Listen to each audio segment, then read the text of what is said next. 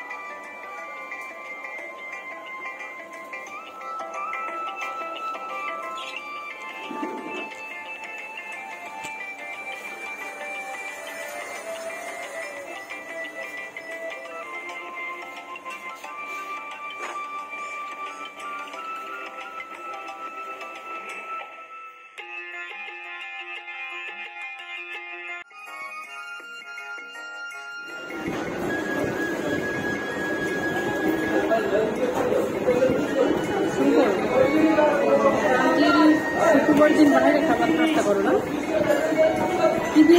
বলো তো? খাও। অনেক বেশি ক্ষুদা লাগছিল আজকে। কখনো এত বেশি তাঞ্জিলের ক্ষুদা লাগে না।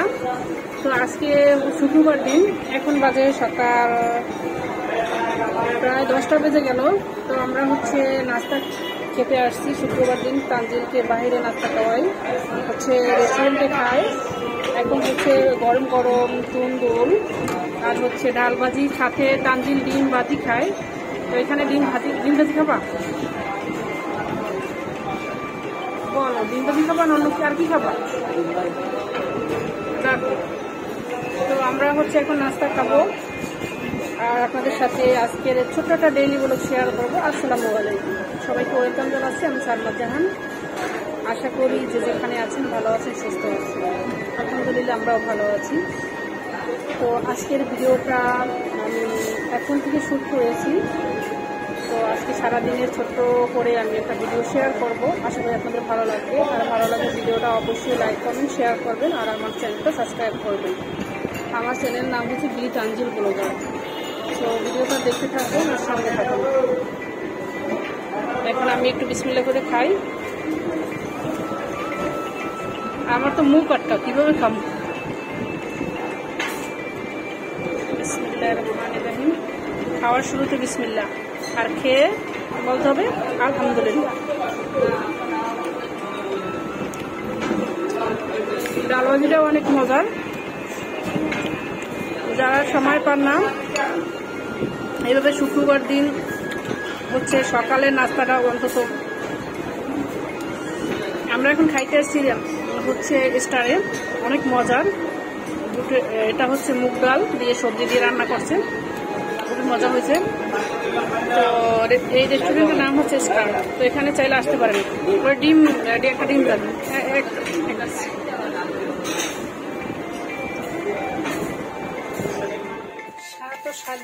মধ্যে বাজার করে, বাজার করা যে কত ঝামেলা আর কত পেয়ারা, আসলে যে করে সেই বোঝে আর যেহেতু এখন সপ্তাহে সরকার দুই দিন বন্ধ দিয়েছে, শুক্রবার আর শনিবার। তো দুই দিন যে বাজারে ভিড়, লোকের মানে কি বলব, বাজার করাই যাচ্ছে না। দেখাইয়া দেখাইয়া বাজার দেখে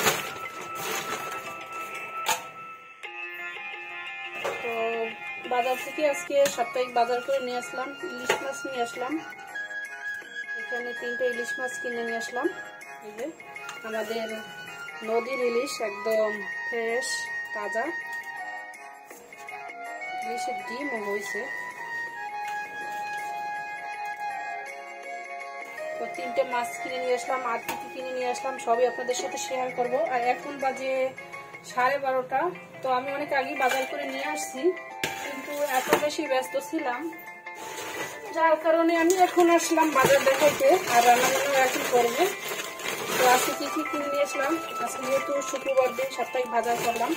মিষ্টি কুমড়া নিয়ে আসছি আর এখানে নিয়ে আসছি গাড়ি। গাড়ি কে কে কিনেন তারপর হচ্ছে আলু।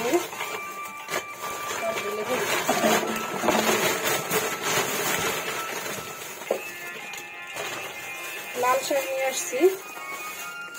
আজকে আজকে রান্না করব লাল শাক আর হচ্ছে ইলিশ মাছ। ভাজি করব, লাল শাক, ভাজি করব, চিংড়ি মাছ এই হচ্ছে লাল শাক ফ্রেশ নিচে রাখি সব।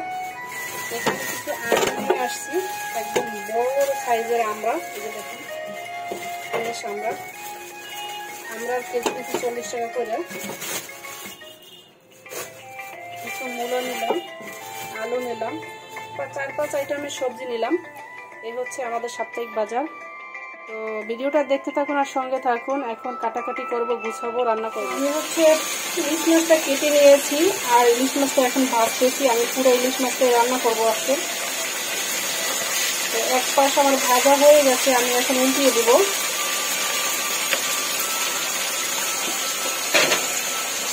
আর ইলিশ মাছ আমি বেশি ভেজে খাই না আমি তো হালকা ভেজে নিই, তাহলে খেতে অনেক বেশি মজা লাগে। অনেকে বিভিন্ন ধরনের রান্না আছে, ইলিশ মাছ অনেকে বেশি, অনেক বেশি কাজ করে, একদম ফ্রাই করে খায়। তো আমার কাছে একটু হালকা ভেজে রান্না করে খেলে মনে হয় বেশি মজা লাগে। তো আসলে আমি সেইভাবেই রান্না করব, আর আমি কীভাবে রান্না করি, হালকা ভেজে সেই রেসিপি আপনাদের সাথে শেয়ার করব। তো এখন হচ্ছে আমি মাছটাকে উঠিয়ে নেব। আমার একটু ভেজে দেখুন বারবার কিন্তু হয়ে গেছে। আমি খুব বেশি একটা ভাজবো না, হালকা ভেজে নেব। আর আমি এখন উল্টিয়ে পাল্টিয়ে দেবো। তো বিয়াস দেখতেই পাচ্ছেন, আমি কিন্তু মাছটাকে উল্টিয়ে দিচ্ছি বেশি একটা ভাজবো না, বলে দিলাম যে হালকা ভেজে নেবে। আর এইভাবে ইলিশ মাছ হালকা ভেজে রান্না করে খেতে অনেক বেশি সুস্বাদু হয়। তো আমি ভেজে নিলাম। এখন হচ্ছে অন্যান্য কিছু মশলাপাতি অ্যাড করব সেটা শেয়ার করব। দেখতে পাচ্ছেন, আমার কিন্তু ইলিশ মাছ ভাজা হয়ে গেছে। আমি কিন্তু একদম মুচমুচি করে ভাজিনি হালকা ভেজে নিলাম। এখন হচ্ছে আমি মশলা করে নেব। আমি ইলিশ মাছের মাছে শুধু পেঁয়াজ দিব, তো এখানে আমি পেঁয়াজটা নিলাম আর একটু পানি দিয়ে দিলাম। এখন আমি বেলেন্ডারে বেলেন্ড করে নেব।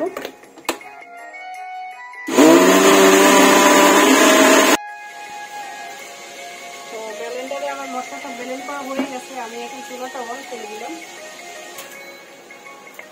এখানে আমি শুধু পেঁয়াজ দিছি। পেঁয়াজের পরিমাণটা অবশ্যই একটু বাড়িয়ে দিবেন। এখন বাকি মশলাগুলো আমি অ্যাড করে দিব।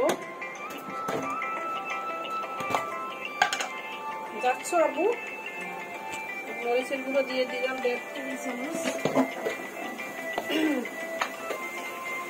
এদিকে আসো, তুমি ড্রেস পরছো? তো তারপরে হলুদের গুঁড়ো দিয়ে দিলাম।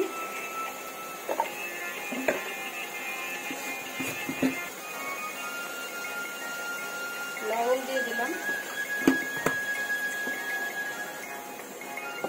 এখন মশলাগুলো খুব ভালোভাবে কষিয়ে নেব।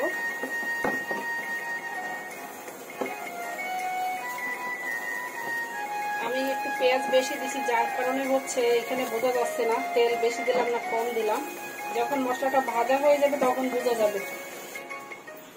যাইতে যাব নামাজে যাও দোয়া করো। যাও। আসসালামু আলাইকুম। ফ্যান লাইট সব অন করে গেছে। পর্যায়ে হচ্ছে আমার মশলাটা কষানো হয়ে গেছে। দেখতে পাচ্ছেন, তেলটা উপরে বেশি আসছে। তো আমি এখন ঝোলের জন্য পানি অ্যাড করব আমি ইলিশ মাছটা হচ্ছে মাখা মাখা রান্না করব। মশলাটা একটু নাড়াই দিলাম। ইলিশ মাছগুলো আমি দিয়ে দেবো।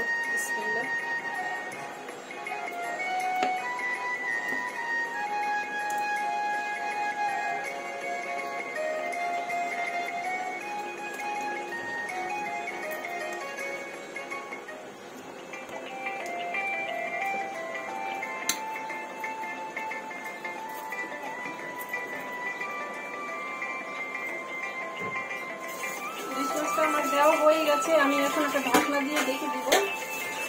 অপেক্ষা করব দশ মিনিট।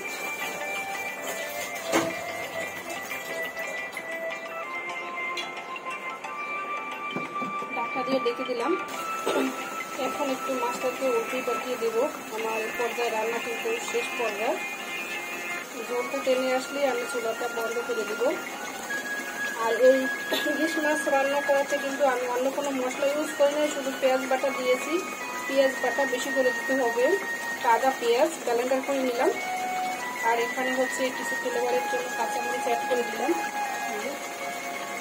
কাঁচামরিচ অ্যাড করে দিলাম। আর আর কিছুই ইলিশ মাছে কোনো মশলা দেওয়া লাগে না। এমনি ইলিশ মাছ অনেক মজা এভাবে খেতে অনেক মজা। অনেকে রসুন দেন আসলে রসুন দিলে কি হয়? ইলিশ মাছের যে একটা ফ্লেভার ওইটা আর থাকে না। আমার মতো করে কেউ রান্না করে খেয়ে অবশ্যই কমেন্ট করে জানাবেন। ইলিশ মাছে অবশ্যই রসুন দিবেন না। রসুন ছাড়া রান্না করবেন দেখবেন খেতে অনেক বেশি টেস্ট তো আমি আমার মায়ের কাছ থেকে শিখেছি, সেটা আপনাদের সাথে শেয়ার করলাম। সবাই ভালো থাকেন, সুস্থ থাকেন। আজকের মতো ছোট্ট একটি ব্লগ ভিডিও এখানে শেষ করে দিলাম। আল্লাহ হাফিজ।